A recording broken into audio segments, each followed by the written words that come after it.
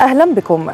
تقود مصر جهودا دبلوماسية مكثفة للحيلولة دون الذهاب إلى مواجهة مفتوحة ووقف التصعيد الحالي بين الجانبين الفلسطيني والإسرائيلي. الرئيس عبد الفتاح السيسي منذ بداية الأزمة تابع الموقف العام للأحداث من خلال مركز إدارة الأزمات الاستراتيجية. وذلك في ضوء تطورات الأوضاع في قطاع غزة كما وجه بتكثيف الاتصالات المصرية لاحتواء الموقف ومنع المزيد من التصعيد بين الطرفين. كما أجرى الرئيس السيسي سلسلة اتصالات مع عدد من القادة وزعماء المنطقة. ففي اتصال هاتفي مع الرئيس الفلسطيني محمود عباس بحث الجانبان حالة التصعيد الأمني والعسكري وأشار إلى خطورة غياب الأفق السياسي وتفاقم الأوضاع الراهنة على النحو الذي يهدد أمن واستقرار المنطقة.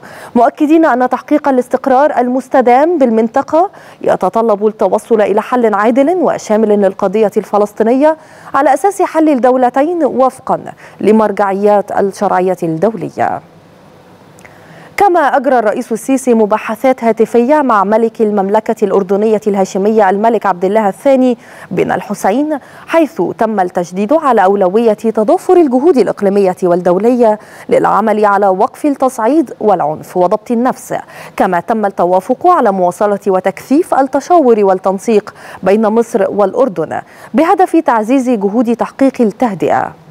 مباحثات هاتفية أيضا أجراها الرئيس السيسي مع المستشار الألماني أولاف شولتز حيث أكد الرئيس السيسي ضرورة معالجة الأسباب الجذرية للصراع الفلسطيني الإسرائيلي وذلك من خلال دعم مسار التهدئة ودفع جهود تسوية القضية الفلسطينية على نحو عادل وشامل ومستدام على أساس حل الدولتين.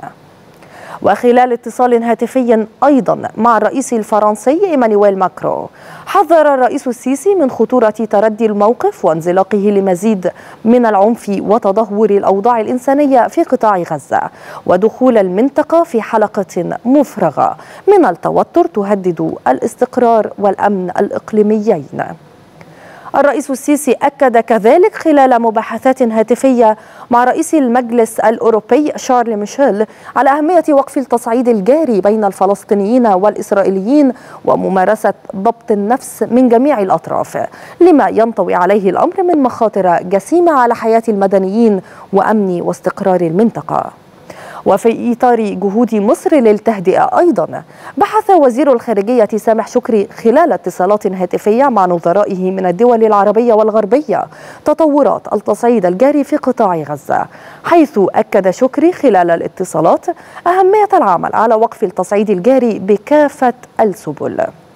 موضحا أن مصر حذرت مرارا وتكرارا من وقوع هذا السيناريو المؤلم نتيجة لغياب آفاق الحل والتسوية العادلة للقضية الفلسطينية واستمرار الاعتداءات الإسرائيلية ضد الممتلكات والحقوق الفلسطينية.